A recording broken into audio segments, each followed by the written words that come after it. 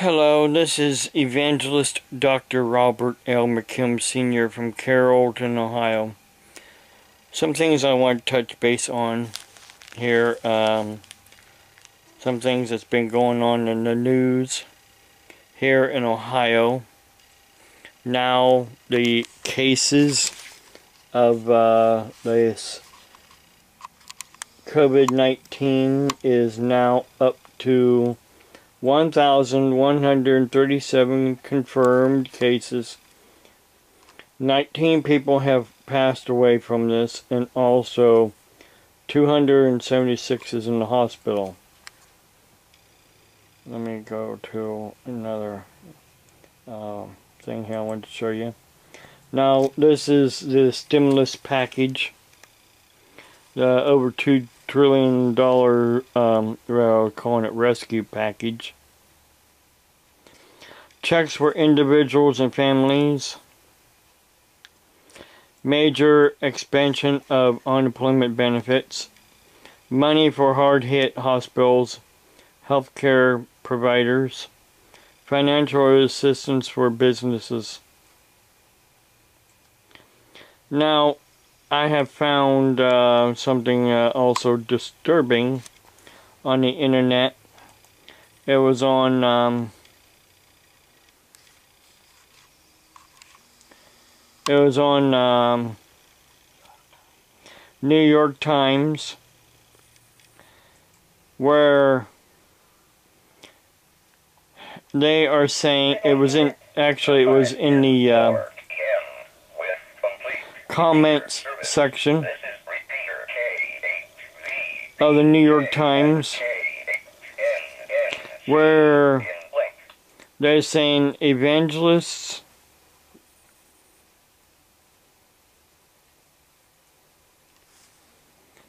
and also uh, other um, religious Americans are the ones that are behind this virus. Well, you can look for it yourself online. Like I said, it is in the um, is in the New York Times and in the comment section. There's a certain person on the internet that has been also accusing me and other Christians and uh, evangelists and pastors like myself causing this. And now comes along the New York Times. I wonder if that person sent uh, somebody at the New York Times their crazy uh, theories.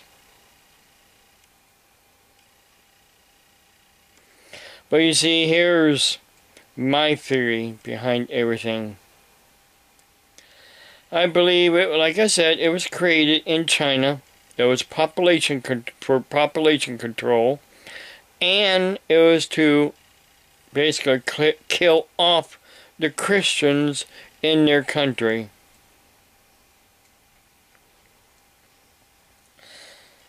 So also scripture. I want to read to you some scripture here in Philippians 4 uh, 6.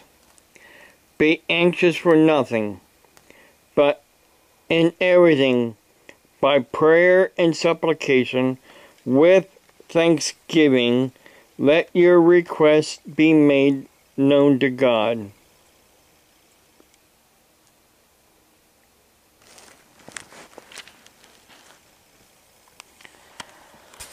See, uh, that's what we do.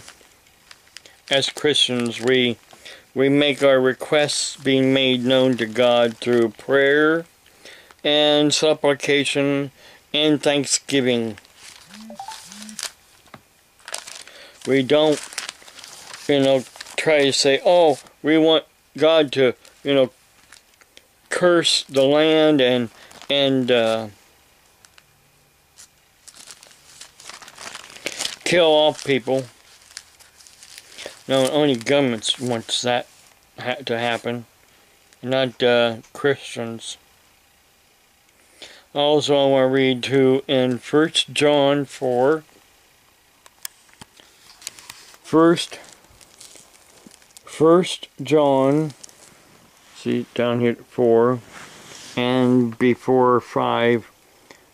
First John's in between, First John 4 is in between, uh, in my Bible, 3 and 5. Start with 17. Love has been perfected among us in this that we may have boldness in the day of judgment because he is so are we in the world. There is no fear in love, but perfect love casts out fear because fear involves torment. But he who fears has not been made perfect in love. We love him because he first loved us.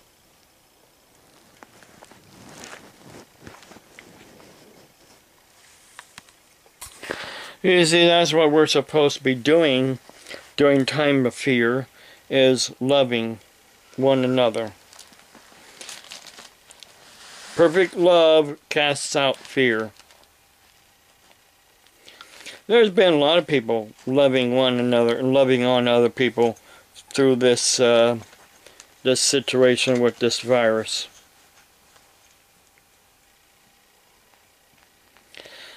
it goes to show really what Christians can truly do when uh, the chips are down for the rest of the world is to come together and help one another in love. That's what it's really about. God wants us to be the church. God wants us to be loving one another, not hating one another, like some people want to hate me for preaching the truth.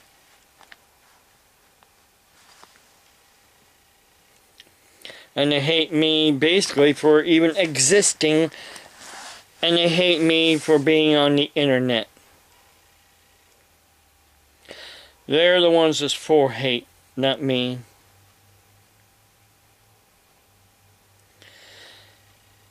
God bless you. Have a blessed day.